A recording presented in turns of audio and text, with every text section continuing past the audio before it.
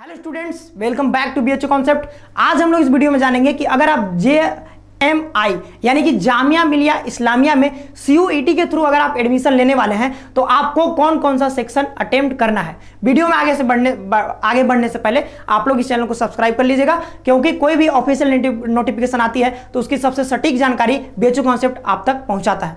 ठीक है? वीडियो में आगे बढ़ते हैं। तो ये जो है, ये ऑफिशियल नोटिफिकेशन जारी की गई है, ठीक है? जेएमआई की तरफ़ से। और यहाँ पर अगर आप कोई भी डिग्री करना चाहते हैं, जैसे बीए में आप, अगर आप बीए ऑनर्स हिंदी करना चाहते हैं जेएमआई से तो आपको वहाँ पर अटेम्प्ट करना पड़ेगा हिंदी। हिंदी लैंग्वेज वहाँ पर श्योर आपको है कि अटेम्प्ट करना पड़ेगा, तभी आप बीए ऑनर्स से हिंदी से वहाँ पर बीए ऑनर्स कर सकते हैं। तो डोमेन में भी हो सकता है सब्जेक्ट अगर डोमेन में हिंदी दिया है तो वहाँ से करेंगे, नहीं तो आप जनरल वाला कर सकते हैं, या फिर आप ऑप्शनल भी ऑप्शनल में अगर लैंग्वेज है तो वहाँ से मतलब लैंग्वेज आपको करना है। हिंदी का लैंग्वेज आपको करना ही है, अगर डोमेन में नहीं है तो वहाँ पर लैंग्वेज वाले में करना है। और इलिजिबिलिटी का क्राइटेरिया बता देते हैं सीनियर सेकेंडरी यानी ट्वेल्थ में आपको फिफ्टी परसेंट से कम नहीं होना चाहिए, तभी आप ये एग्ज़ाम दे सकते हैं। आगे चलते हैं। अगर आप संस्कृत में करना चाहते हैं तो आपको जनरल टेस्ट अटेम्प्ट करना पड़ेगा, सेक्शन थ्री करना पड़ेगा। उसी तरीके से बी ऑनर्स फ्रेंच से करना चाहते हैं तो आपको जनरल टेस्ट करना पड़ेगा। सेम इसी जैसे यहाँ पर, उसी तरीके से।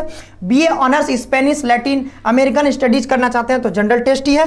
यानी कि एक एक सेक्शन आप करना पड़ेगा, बहुत ज़्यादा इसमें नहीं है, बहुत सिंपल इसका क्राइटेरिया है। बीए अगर आप इकोनॉमिक्स से करना चाहते हैं, इकोनॉमिक्स ऑनर्स, जी से तो आपको सिर्फ़ डोमेन का जो स्पेसिफिक सब्जेक्ट है, वहाँ पर सिर्फ़ आपको इकोनॉमिक्स करना है। उसी तरीके से आप यहाँ पर देख लीजिए, अगर हिस्ट्री में करना है तो आपको डोमेन वाला हिस्ट्री करना है।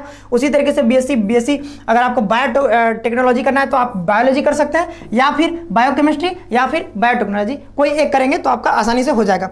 और बी ओस में अगर बी ओक में अगर आप करना चाहते हैं तो यहाँ पर सोलर एनर्जी में करना चाहते हैं तो आपको फिजिक्स करना मैंडेटरी है। यह भी हमारा डोमेन स्पेसिफिक सब्जेक्ट ही है। और बीएससी अगर ऑनर्स करना चाहते हैं फिजिक्स में तो आपको डोमेन वाला फिजिक्स करना पड़ेगा। उसी तरीके से बी ऑनर्स अगर आप करना चाहते हैं तुर्किस लैंग्वेज में एंड लिटरेचर में तो आपको जनरल टेस्ट करना पड़ेगा। उसी तरीके से एलिजिबिलिटी क्राइटेरिया वही है, पचास से कम नहीं होना चाहिए। तो मिलते हैं नेक्स्ट वीडियो में। अगर आपको ये इन्फॉर्मेशन अच्छा लगा तो चैनल को सब्सक्राइब कर लीजिएगा। धन्यवाद।